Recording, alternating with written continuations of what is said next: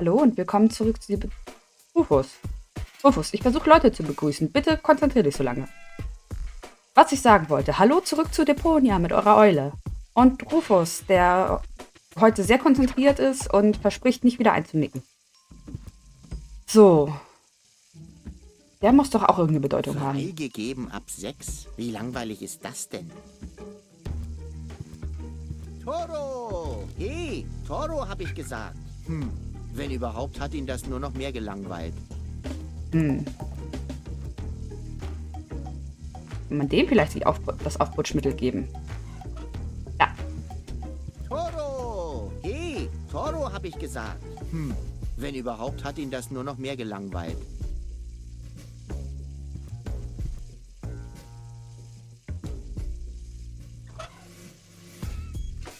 Magst du Kühe?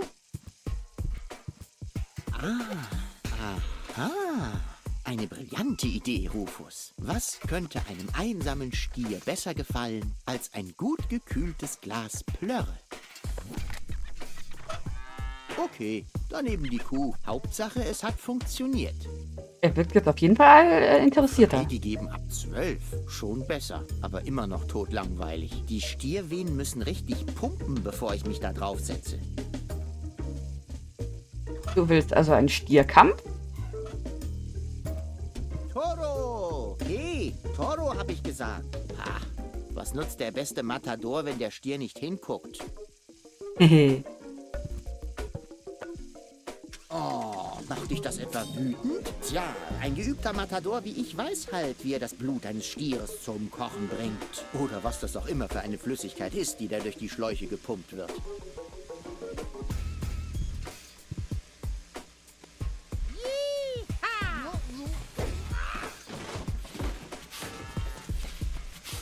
Gleich nochmal.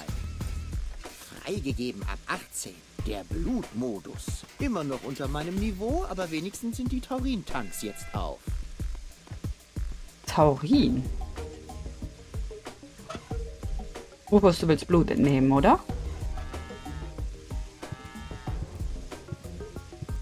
Einem zornigen Stier Blut abzapfen? Kinderspiel.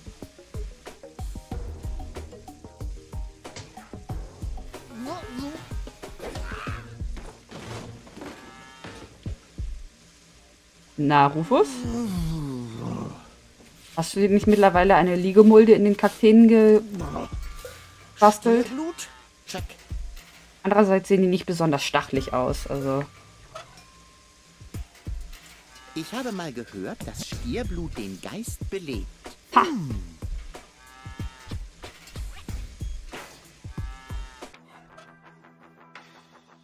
Schwarzes Pulver, besonders aufputschend, heiße Bohnen, lebende Flüssigkeit. Das heißt, das muss gemahlen werden? Das Toni hat doch eine Mühle im Laden.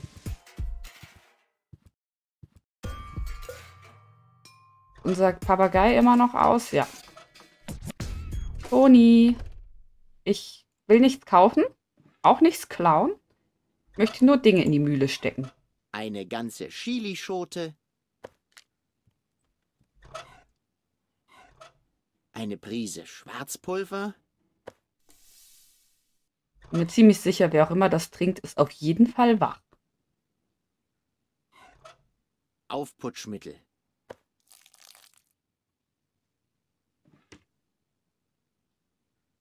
Los, Rufus.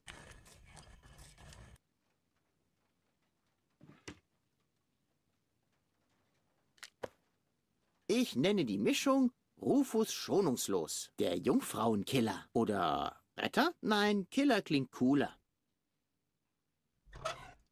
Mit Liebe gemahlen. Ah.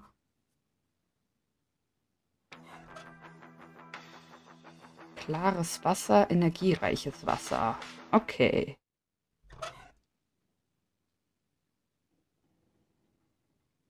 Ein Drahtpfeil. Ah. Kann ich damit den Papagei Hm. wecken? Trotz des Stierbluts wacht er nicht auf. Falsche Blutgruppe. Wie kriege ich denn den Papagei wieder wach? Oni? Hast du zufällig Kaffee hier? Seit du bei mir wohnst, nur noch schon Kaffee. Und selbst das ist noch zu viel. Vielleicht sollte ich die Kaffeemühle da langsam mal aus dem Laden schaffen. Die nimmt nur Platz weg. Wie du. Ich brauche dringend ein paar Zutaten. Wenn nichts mehr im Kühlschrank ist, bekommst du auch nichts mehr. Nein, ich meinte, Das Thema ist beendet. Verdien dein eigenes Geld. Dann kannst du dir auch deine eigenen Lebensmittel leisten. Darum geht es nicht. die Hausapotheke ist verschlossen. Hast du dich etwa verletzt? Noch nicht. Schade. Wenn es soweit ist, sag Bescheid. Erst einmal habe ich dann etwas zu lachen und den Schlüssel kann ich dir dann auch geben. Wie war das gleich mit diesen Coupons? Das sind Geschenkgutscheine. Man gibt sie bei der Post ab und die liefern dann die Ware für dich aus. Und? Nein, du bekommst sie nicht geschenkt. Tolle Geschenkgutscheine. Hm. Ich muss weg. Das sage ich schon seit Jahren. Aber du bist immer noch da. Ich habe nicht mal die Box vom Aufputschmittel behalten.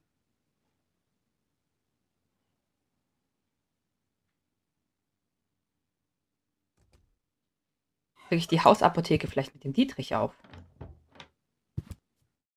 Moment, ich möchte vorher noch einmal in das Fass mit, also in das, in den Becher mit den Haken. Vielleicht wird sie dann sauer. Oder vielleicht passt sie nicht auf. Finger weg von meinen Sachen. Finger weg von meinen Sachen. Ma. Boni, möchtest du nicht mal kurz aus dem Fenster gucken? Na gut, dann nach Hause.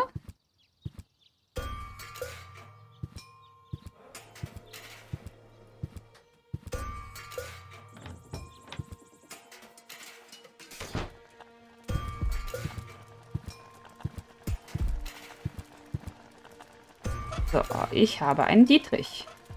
Gott sei Dank bin ich ein geschickter Schlösserknacker. Was? Nicht einmal damit? Ist das überhaupt ein richtiger Dietrich?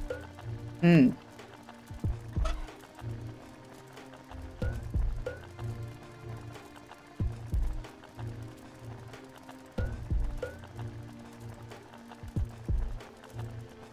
Seltsam.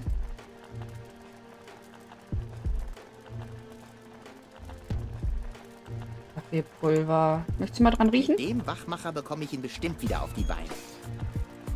Vielleicht kann Gizmo mir ja helfen mit dem Papageien. Gizmo.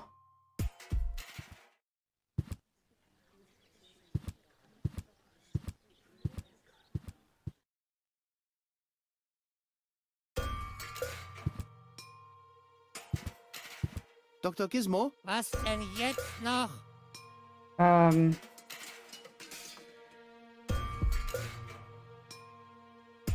Ich will einen Notfall melden. Ich höre,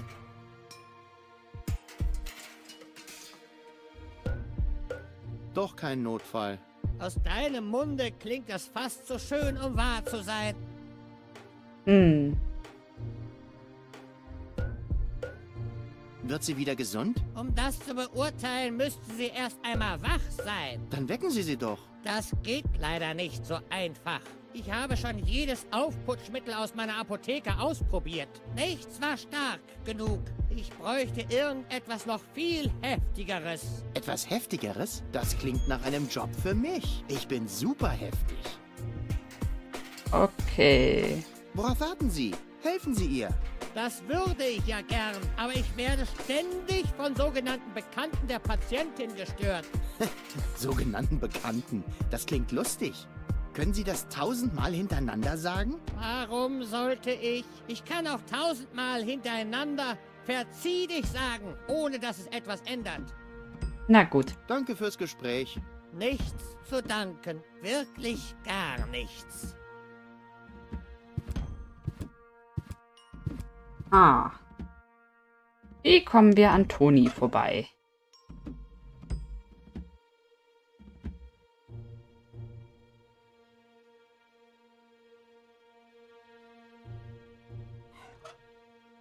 Vielleicht gibt es ja in der Apotheke doch irgendwas, um dem Papagei zu helfen. Hier ja scheinbar nicht. So, da lang. Hier vielleicht noch irgendwas?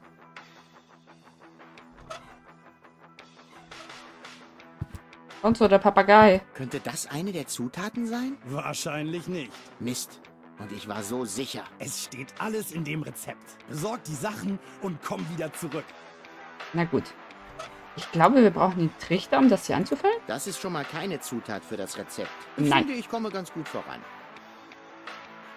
Die Tasse ist noch leer, mit Betonung auf noch. Na gut. Äh, aber das Kaffeepulver. Das Pulver kommt offenbar in dieses Fach da. Ah. Das. Pulver habe ich schon mal.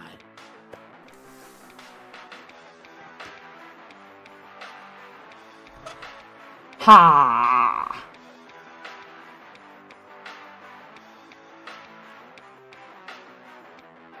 Ach, ich weiß noch nicht, wofür ich den Pfeil brauche.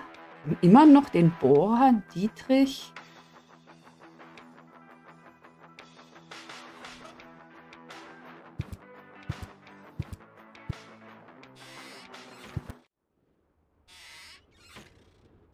Auf zur Notfallstation.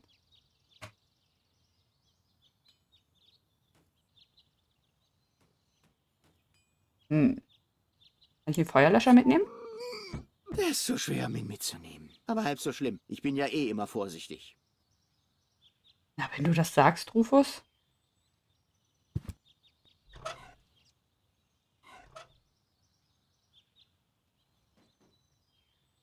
Vielleicht nicht den Papageien hier irgendwo reinlegen.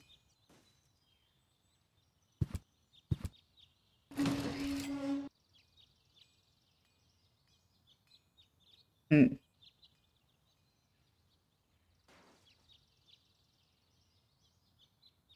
Gefängnis muss der Vogel auch nicht. Da ist nur die Feuerwehrstange, um nach unten zu kommen. Kann ich den Vogel in den Baum setzen? Hey, du, aufwachen! Junge, Junge, den hat's aber echt mal amtlich ausgenockt. Das nützt also nichts. Aber ich kann zumindest, wenn ich hier bin, noch mal einen Ballon auffüllen.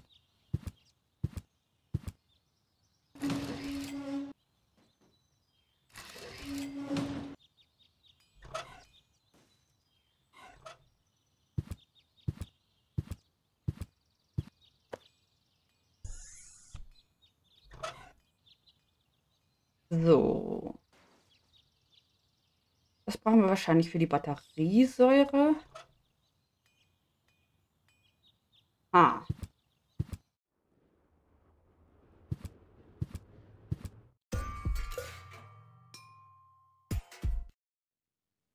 Enzel.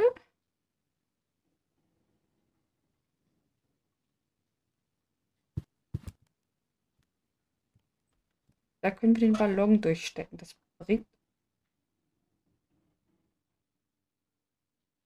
Der ist bereits ausgenockt. Ah, vielleicht, ich dachte, man kann ihn vielleicht daran hängen oder so. Kaputt. Okay, das war witzig, aber nicht, was ich erreichen wollte.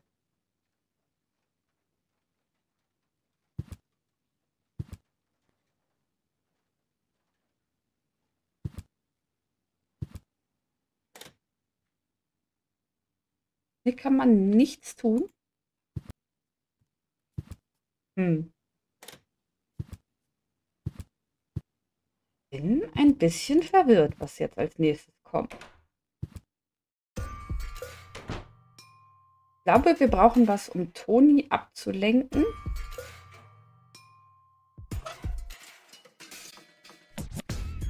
Damit wir uns den Haken holen können, damit wir den Ballon durch äh, Wenzels ähm, Dingens, äh, Schornstein fliegen lassen können.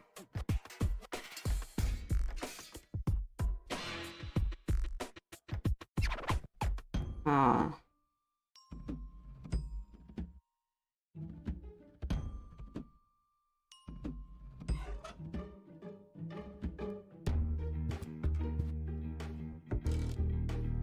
Von wegen Arbeit. Sie sitzt nur rum und dreht Däumchen. Das kann ich auch. Ja, ähm, Rufus, ich glaube, du hast ein etwas verwirrtes Bild, wie Läden funktionieren.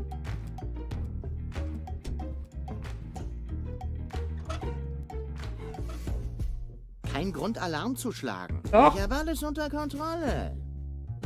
Eben nicht. Rufus, der arme Papagei. Vielleicht ist irgendwas in der Hütte, was dem Papageien hilft.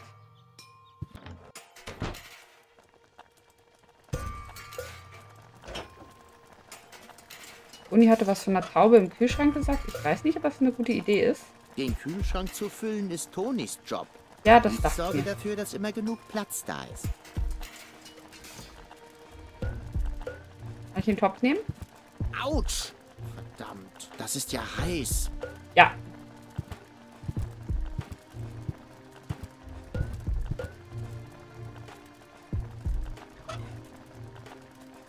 Kann ich das aufbohren? Gott sei Dank bin ich ein geschickter Schlösserknacker. Verdammt! Mit dem richtigen Werkzeug wäre das ein Klacks gewesen. Kann ich offenbar nicht. Das ist ein Waschbecken.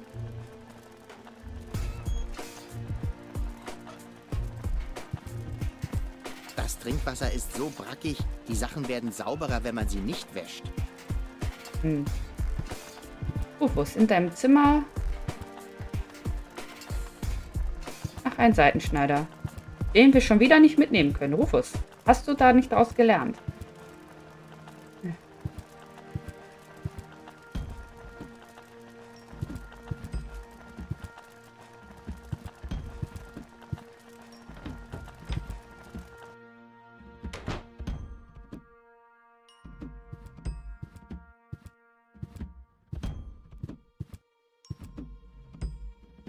Ist auch nichts mehr.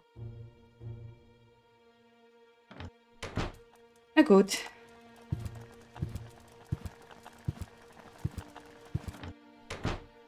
Vielleicht weiß Hannik ja was zu dem Vogel. Hannik. Der Vogel ist kaputt. Hallo nochmal. Ah, hallo Schnutzipu. Oh, Echt? Den Namen hast du dir gemerkt? bis Sprengplan. bald. Nee. Tschüss, Schnutzipu. Ach, den Namen kannst du dir merken. Sieht so aus. Ah. Also, Dartpfeil. Nicht nützlich. Wartenummer. Nicht nützlich. Richter. Ich quäle keine Tiere und im Gegenzug helfen sie mir dankbar bei meinen Experimenten. Guter Plan. Rezept. Ich verstehe nicht, wofür der gut sein soll. Ich habe doch schon genug Löcher in den Zähnen. Deborah und Dietrich. Und Taurin. Naja.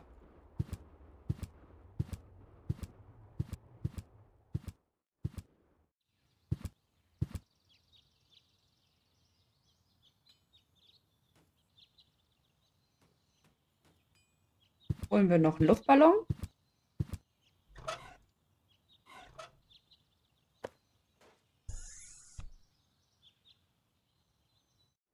Habe ich einfach mal mit Lonzo gesprochen?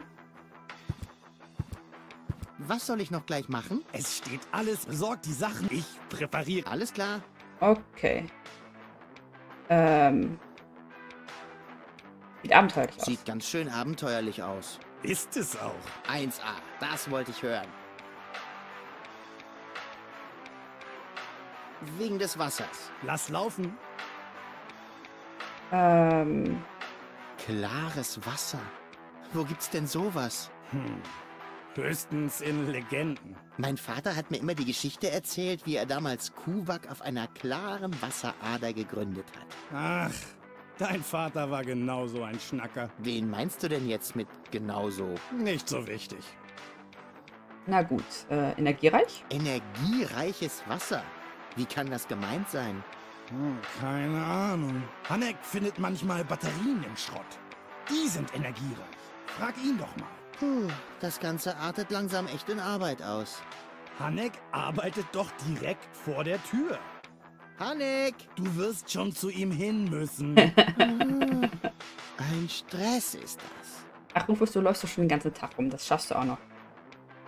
Ich habe eine belebende Flüssigkeit. Na, da bin ich aber mal gespannt. Was ist es? Das Zeug hat den mechanischen Bullen vorm Stadttor zum Leben erweckt. Eine rötliche, belebende Flüssigkeit, deren Hauptbestandteil aus Bullen gewonnen wird? Wir sollten ihr einen Namen geben. Ich hab's, ich hab's. Red Rufus Superdrink. Meinst du? Ich dachte eher an... Äh, äh, äh, äh, äh. Red Rufus Superdrink. Schon gut. Okay. Ich schaff das schon. Beeil dich. Ich kann es kaum erwarten, die Maschine auszuprobieren. Na gut. Ich gehe dann mal Zutaten besorgen und so. Mach das. Ich warte hier. Das sind die Teile der Maschine. Ah. Rufus, ich weiß nicht weiter.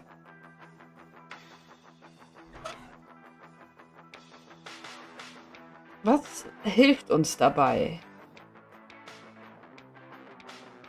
Wie können wir Toni ablenken? Können wir sie besonders wütend machen vielleicht, damit sie ihre Beruhigungssachen braucht?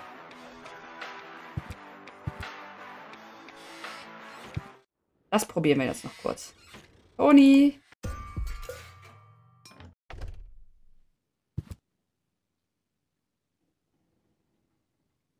Brauche dringend ein paar Zutaten. Wenn nichts mehr im Kühlschrank. Nein, Das Thema Ja, das ist hatten wir schon. Ich muss weg. Das sage ich schon. Aber du? Gewichte. Was man halt so. Hm. Kann ich hier noch irgendwas ankrabbeln? Das Kram, die Mühle, Fenster, Haken. Hey, stopp mal. Was genau hast du vor? Ich dachte, ich nehme mir ein paar von diesen Versandcoupons. Dann kann ich meinen Freunden überall auf Deponia offenbar Haken und Bleigewichte schicken, so wie das hier draufsteht. Okay, Punkt 1. Du hast keine Freunde. Du bist ein selbstverliebter Egoist, der sich einen Dreck um andere Menschen schert. Punkt 2. Was in aller Welt bringt dich auf die Idee, du könntest einfach irgendwelche Sachen aus meinem Laden mitnehmen? Du könntest. Du könntest es doch für mich anschreiben. Anschreiben? Anschreiben? Wovon, mein Freund? Willst du das denn jemals zurückzahlen? Oder hast du plötzlich einen Job, von dem ich nichts weiß? Nicht direkt, aber.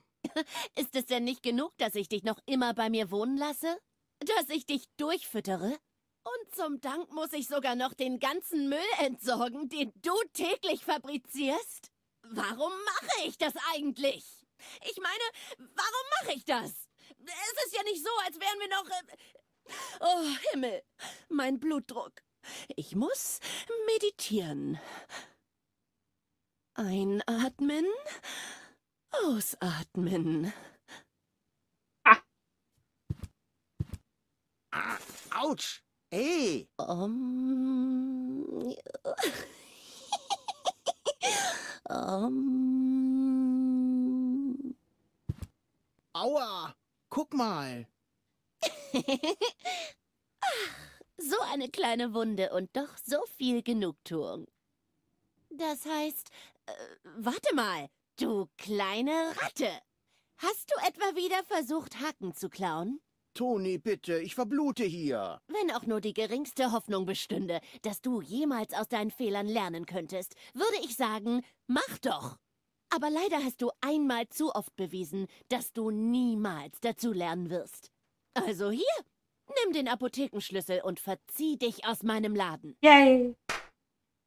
Danke, Toni, du bist die Beste. Wenn du nicht immer gleich so meckern würdest, würde ich vielleicht auch mal zuhören. Rufus, du hättest Danke sagen können. Außerdem hat dir das doch schon Spaß gemacht. Gib's doch zu.